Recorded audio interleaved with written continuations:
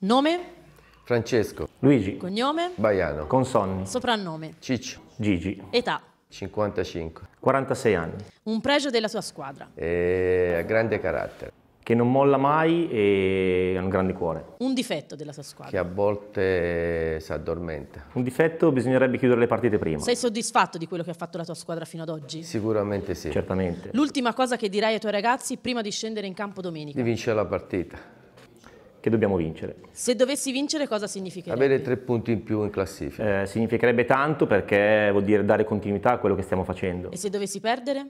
E che bisogna pensare alla partita che arriverà. È un problema. Com'era l'altro da giocatore? Un ottimo calciatore, Molto forte, un giocatore pazzesco. Il compagno di squadra migliore che hai avuto? ma eh, ne ho avuti tanti, ma ovviamente non, non ho avuto l'onore e il piacere di giocare con il più grande di tutti, con Diego Maradona. Diciamo negli anni di Grosseto, che sono stati gli ultimi anni da professionista, sicuramente Piniglia.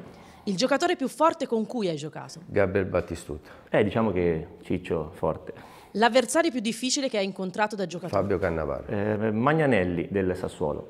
Com'era da giocatore? È l'altro? molto tecnico e sapeva mettermi anche in condizione di fare gol. Molto forte, tecnico, sveglio, goleador incredibile. Cosa ti ricordi di quando giocavate insieme?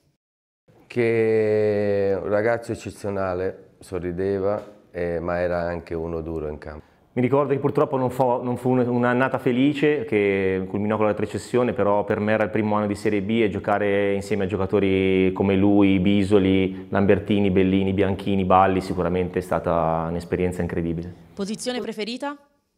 La mia?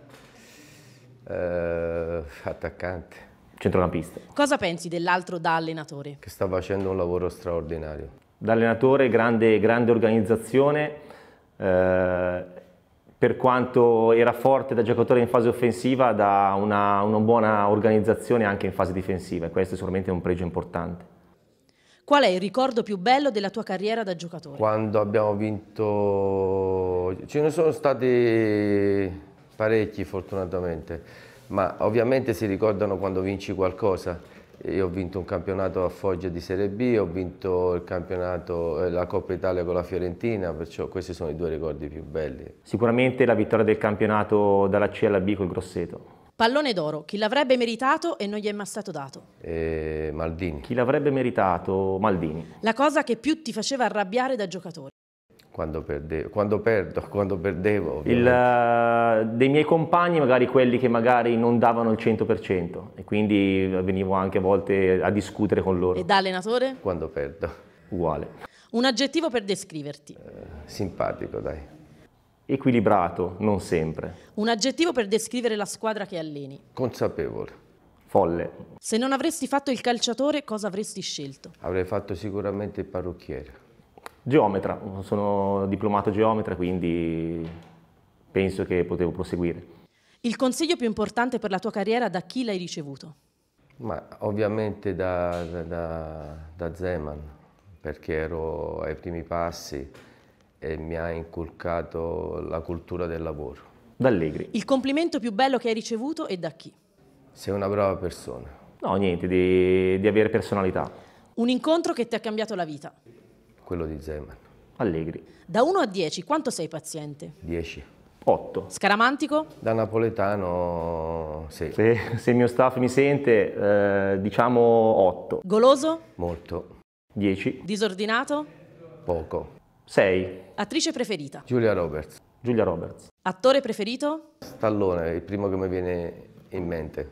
Eh, Brad Pitt. Cantante o gruppo preferito? Marco Mengoni. Eh, Eros Ramazzotti. Sotto la doccia quale canzoni canti spesso? Accennala. O sole mia, sta in fronte a te.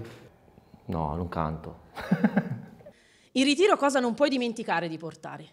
Il telefono. In ritiro da giocatore la PlayStation.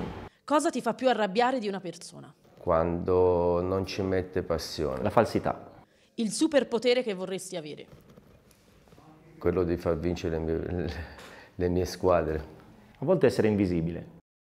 Hai una bacchetta magica, il primo desiderio che realizzi. Quello di, di- in questo momento, eh, quello di portare la mia squadra a una salvezza tranquilla. calcisticamente vincere quest'anno il campionato. Un aggettivo per descrivere la città dove alleni. Tranquilla, Passionale, Dolce o salato? salato. dolce, Mare o montagna? Tutta la vita a mare. mare, Il tuo motto?